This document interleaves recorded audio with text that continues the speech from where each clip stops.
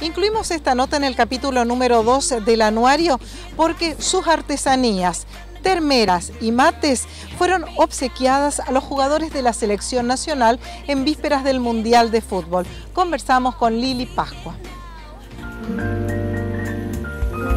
Yo trabajaba primero, hacía cosas en, en cartón y después en madera. Y después me enseñaron la técnica cómo trabajar en cuero.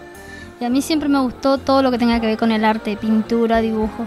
Y bueno, lo, lo volqué al cuero y a ella, ya no largué más, a ella comenzó una manera de, uno, bueno, una salida laboral que encontré y, y otro, una manera de, de distracción, de- me apasiona hacer esto. Y de expresar tu creatividad que además es lucrativo. Sí, encontré una, una mezcla perfecta en eso porque amo hacer esto, me encanta. ¿Con qué tipo de cuero trabajas, Liliana? Eh, suela. Eh, es- sí, sue- sería suela y suela. ¿Y qué tipo de elementos colaboran para poder moldear esa suela? Eh, nada, lo, lo único que utilizo es, bueno, agua para eh, ablandar el cuero, para humedecer el cuero. Y bueno, y después las herramientas que utilizo son eh, lesna, clavo y martillo. Ese es todo mi, mi elemento de trabajo. Esto es puro artesanal, trabajo manual. Trabajo manual, todo a mano. Hasta cuando me piden escribir algo, todo letra por letra, voy escribiendo todo con la lesna. ¿Cómo fue tu primer trabajo de cuero? ¿Qué hiciste?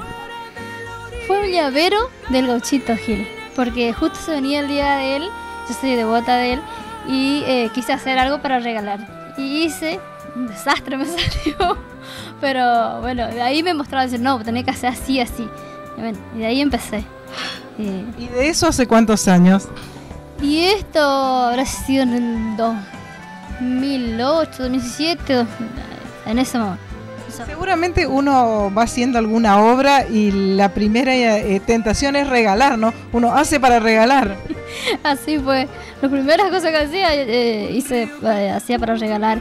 Y como ya tenía el, el stand en, en Punta Tacuara, con las cosas de, de cartón y de madera, entonces le fui anexando de a poco las cajas de cuero, que fue lo primero que hice, que empecé a hacer.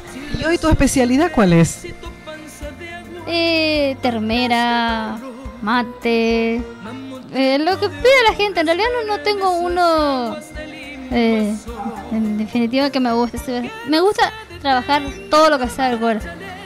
Cuando ¿Y estoy la gente, perdón, ¿y la gente te pide para consumo personal o para regalar? De las dos cosas.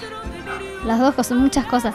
Este, algunos sí que quieren para ellos mismos, personalizado, o para un regalo siempre. Necesito tal para regalar tal cosa, con- pero con un nombre, que esto, que lo otro. Así que- Y cuando no haces artesanías, ¿qué haces? ¿Cómo es tu vida?